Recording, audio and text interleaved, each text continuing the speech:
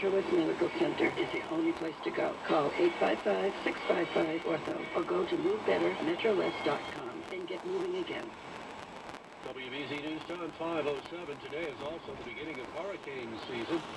It runs from now to the end of November. The American Red Cross teaming up with Unitil to help residents prepare for hurricane season. Red Cross spokesperson Don Leek explains. So this is sitting down with your family and really putting together a disaster preparedness kit.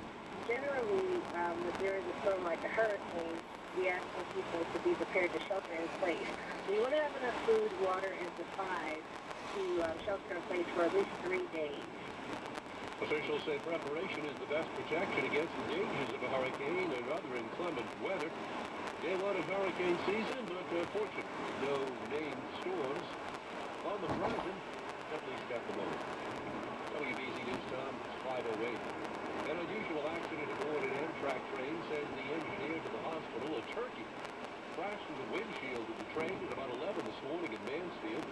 It happened as the train was traveling near Elm Street. The turkey was killed. The engineer taken to Sturdy Memorial Hospital with minor injuries. Train service not significantly affected. WBZ News Time 509. Time now for Market Watch. Here's Elisa Perez. If you've ever been late paying a bill, you've got a lot of company. 59% have paid a bill late in their lifetime. And of those that have paid a bill late, nearly 9 out of 10 have done so in the past 12 months.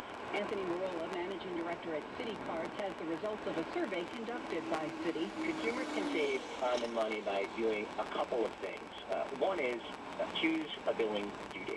Um, there are a number of consumer providers out there that allow that flexibility. He also suggests signing up for text or email alerts when the payment deadline is approaching.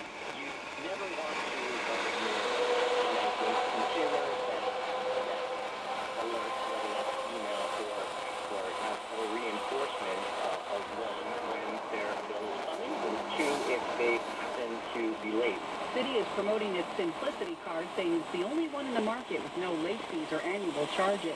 Elisa Parenti, MarketWatch.com on WBZ News Radio 1030. WBZ News Time 510. A local woman raising money for One Fund Boston, holding a bake sale in Needham. It wasn't an easy task getting permission from the town. She had to agree only purchased products would be sold, no homemade